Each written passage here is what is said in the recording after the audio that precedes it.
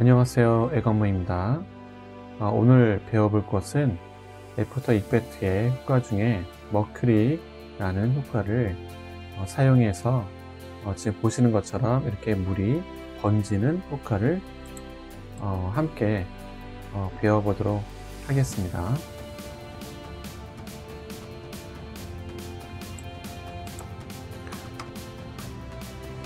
네, New Composition 이름을 Mercury라고 잡아놓겠습니다. 1920, 1980, 30프레임 네, 10초로 해놓고요. 그리고 OK 하겠습니다. 네, 제가 지금 미리 어, 어, 이미지를 가져왔는데요.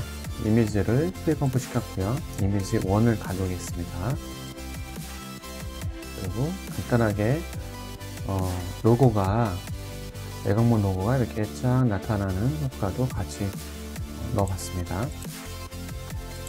그리고 어,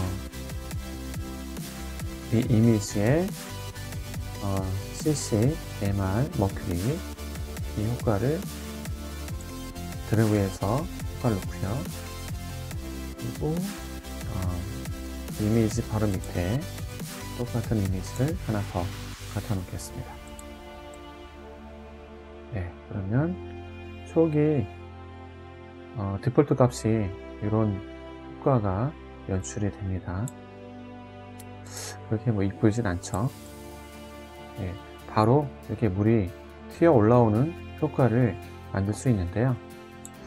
이 효과를 어, 지금 이제 변형을 좀 시켜보면요. 그래서 x, y, radius x, 그 다음에 y를 넓혀서 해보고요. 밑으로 떨어지겠죠? 그리고 떨어지는 속도가 이런 속도로 좀 떨어지거든요. 지금 상당히 빨리 떨어지죠? 네. 그래서 이거를 어, 저항값을 좀 높여서 천천히 떨어지게 하겠습니다. 네. 5 정도로 해볼게요. 떨어지는 속도가 네, 이렇게 되겠죠? 네, 그리고 생성됐다가 없어졌다 하는 그런 타이밍이 있는데 이런 타이밍도 어, 바꿀 수가 있습니다. 네, 물방울이 생겼다가 이제 금방 없어지는데요. 이 타이밍을 한번 늘려보겠습니다. 그러면 주기가 좀 더 길어지겠죠? 없어지는 주기가 좀 더 길어질 겁니다. 생명력을 좀 높인 거죠. 그리고 이 상태에서 좀 변화를 주어보면 밑으로 떨어지는데 파일을 하게 되면 역으로 이제 위로 올라가겠죠. 저항값을 내려보면 위로 쫙 올라갈 겁니다. 예. 이게 꼭 물속에서 물방울이 뽀글뽀글 이렇게 올라가는 그런 효과하고 되게 비슷하죠. 이런 효과도 만들 수 있습니다. 네, 이런 효과도 아주 재미있는 효과도 만들 수가 있죠. 그러나 오늘 어, 함께 만들어 보려고 하는 디자인은 음, 오로 가고 파이어에서 기본으로 다시 돌리고요. 그리고 어, 벌써 사이즈를 키우겠습니다. 이렇게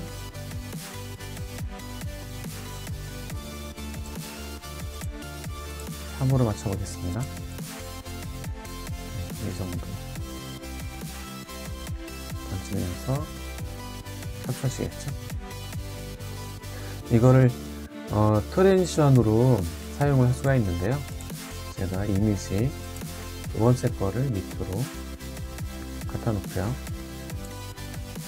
바꿔주고 그리고 딱 하면 딱 물이 번지면서 뷰의 이미지가 딱 보이는 transition도 어, 만들 수가 있습니다.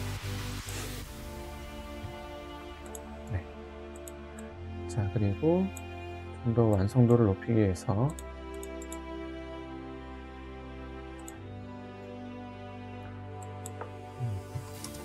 커브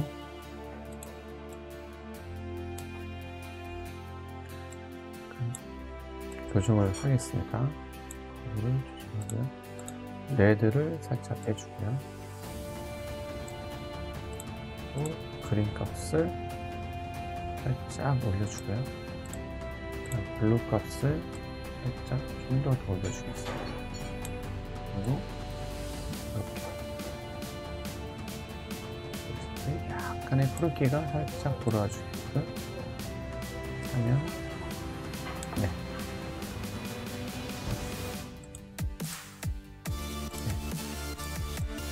네. 약간 음, 겨울에 약간 차가운 느낌이 좀 들면서 메탈 느낌이 좀더 더 살겠죠.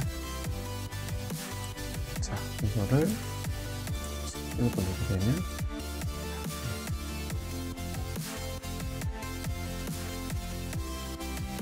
네, 이렇게 물이 어, 번지는 효과를 만들 수가 있습니다.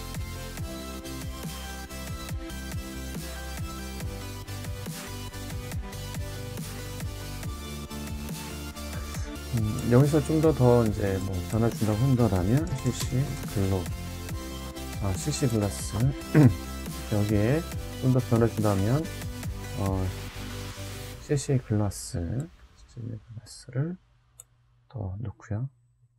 그리고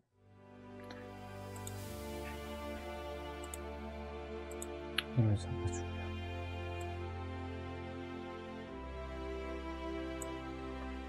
아, 예쁘지 않네요.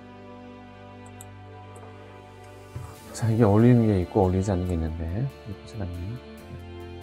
네, 이렇게 해서 네, 오늘 간단한 어, 간단하게 강좌를 마쳐보도록 하겠습니다. 네, 수고하셨습니다.